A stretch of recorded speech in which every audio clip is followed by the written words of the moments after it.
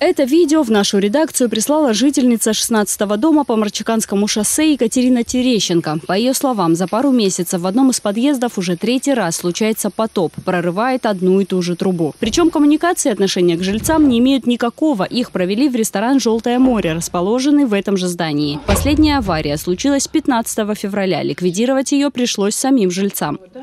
От кипятка никто не пострадал, но с ногами мокрыми мы были все, потому что есть совок, есть ведро, и черпали все. Металлоконструкцию мы прокладывали, чтобы можно было выходить. Вода вся возле, прям возле крыльца видно, то, что мы выливали. Но помощь нам, к сожалению, даже управляющая компания не оказала. Был, были задействованы все соседи. Сейчас трубу из подъезда убрали, перенесли в подвал, несмотря на то, что разрешение на размещение коммуникаций здесь было. Владелец ресторана уверен, те, кто неоднократно портил его имущество, могут сделать это вновь. А в том, что это было совершено намеренно, у него сомнений нет.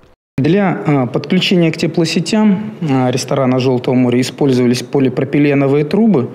Ну, можно видеть, что они достаточно толстые. И э, был обнаружен вот такое повреждение, которое возникло не изнутри, то есть не из-за избыточного давления, а кто-то умышленно э, повредил эту трубу именно снаружи. Либо перерезал, либо перепилил ее чем-то. В настоящее время разбирается полиция с, с этой ситуацией. Будет проведен, я надеюсь, по квартирный обход. Будет э, по крайней мере, полиция предприняла эта попытка установить, кто же все-таки это повредил.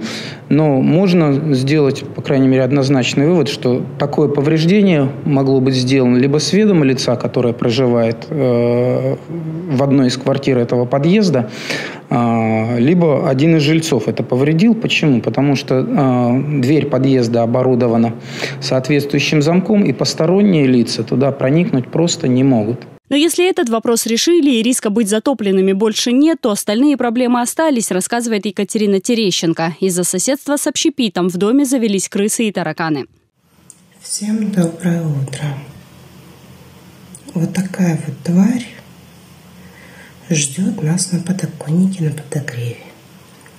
С учетом того, что два дня назад мы закончили ремонт на кухне. Но в ресторане заверяют, их учреждение к появлению насекомых и грызунов никакого отношения не имеет. Здесь соблюдают санитарные нормы, проводят дезинфекционные и дератизационные мероприятия. А в прошлом году сделали капитальный ремонт на кухне, установили новое оборудование. Я не могу исключить, что другие э, собственники э, жилых и нежилых э, помещений данного дома не могут справиться с такой проблемой, как тараканы. Относительно тех крыс, которые э, бегают возле дома и которые были засняты э, на видеокамеру э, одним из жильцов дома, могу сказать, что крысы – это общая проблема города. Э, я сам часто вижу по городу крыс, которые э, забегают в подвальные помещения домов, бегают возле э, э мусорных баков. Э, и это наша общая проблема, с которой надо бороться. Опять же, повторюсь, собственник э, помещения ресторана «Желтого моря» оплачивает соответствующие услуги по дератизации, и он со своей стороны предпринимает э, меры для того, чтобы в его помещениях крыс не было. Поэтому в чистоте и порядке в своих помещениях руководство не сомневается, тем более, что отсутствие каких бы то ни было нарушений подтверждают и систематические проверки контролирующих органов. Олеся Хитагурова, Игорь Радченко. Специально для Карибу.